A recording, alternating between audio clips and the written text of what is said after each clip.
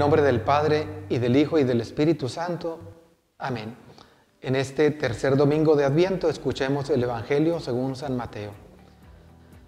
En aquel tiempo Juan se encontraba en la cárcel y habiendo oído hablar de las obras de Cristo, le mandó preguntar por medio de dos discípulos, ¿eres tú el que ha de venir o tenemos que esperar a otro?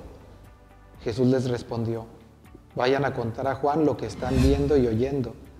Los ciegos ven, los cojos andan, los leprosos quedan limpios de la lepra, los sordos oyen, los muertos resucitan, y a los pobres se les anuncia el Evangelio. Dichoso aquel que no se sienta defraudado por mí. Cuando se fueron los discípulos, Jesús se puso a hablar a la gente acerca de Juan. ¿Qué fueron ustedes a ver en el desierto? ¿Una caña sacudida por el viento? No. Pues entonces, ¿qué fueron a ver? ¿A un hombre lujosamente vestido? No, ya que los que visten con lujo habitan en los palacios. ¿A qué fueron pues? ¿A ver a un profeta? Sí, yo se lo aseguro, y a uno que es todavía más que profeta, porque de él está escrito, he aquí que yo envío a mi mensajero para que vaya delante de ti y te prepare el camino. Yo les aseguro que no ha surgido entre los hijos de una mujer ninguno más grande que Juan el Bautista. Sin embargo, el más pequeño en el reino de los cielos es todavía más grande que él. Palabra del Señor. Habíamos visto el domingo pasado y en estos días en diferentes momentos de la vida de Juan el Bautista.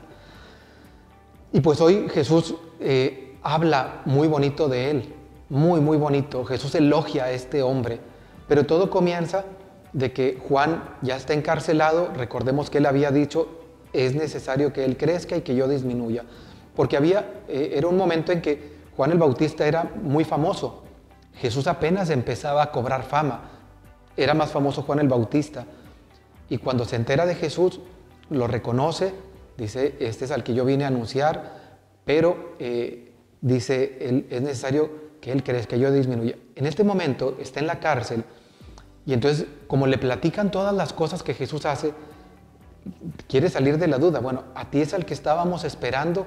Ya entre ellos hay un entendimiento en el Espíritu porque están los dos obedeciendo a la voluntad de Dios.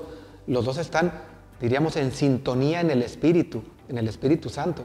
Y por eso cuando escucha, él le suena, le suena conocido. A ver, lo que hace él eh, es parecido a la voz de, del que del que va a venir, del que estamos esperando, el Mesías. Y entonces por eso le va a preguntar, ¿eres tú el que ha de venir o tenemos que esperar a otro? Y Jesús no le dice, sí soy yo. Jesús les dice, vayan y díganle a Juan lo que están viendo, las obras. Él va a entender. No voy a decir sí, no voy a decir no. Lo que voy a decir, vean y platíquenle esto. Juan iba a comprender. Entonces dice, los ciegos ven, los cojos andan, los leprosos quedan limpios de la lepra, los sordos oyen, los muertos resucitan, a los pobres se les anuncia el Evangelio. Entonces, ¿qué dijo Juan? Ah, ok, sí es. Entonces, esta es la congruencia de Cristo. Jesús lo que hace es traer el reino. Todo esto que mencioné, que no lo mencioné yo, sino lo leí del Evangelio, son signos de la llegada del reino. El reino ya está aquí. Por eso nosotros en el Adviento pensamos como en tres dimensiones. Sí, la Navidad, que es una fecha. Dos, la venida del Señor cuando no sabemos cuándo sea.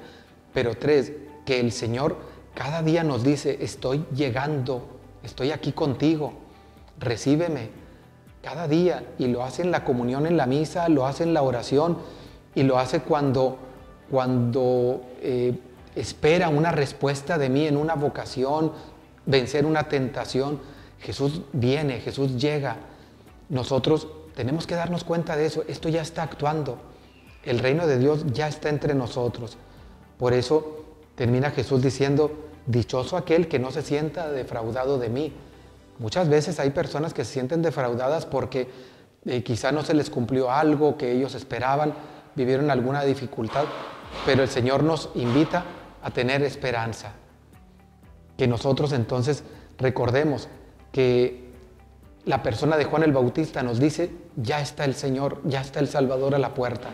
Hoy encendemos la veladora rosa de la corona, que recordemos ya está cerca. Dispongámonos. No podemos estar en pecado, no podemos seguir como si el Señor no, no fuera a llegar. Preparémonos porque el Señor se acerca. Y la bendición de Dios Todopoderoso, Padre, Hijo y Espíritu Santo descienda sobre ustedes. Amén. Feliz domingo.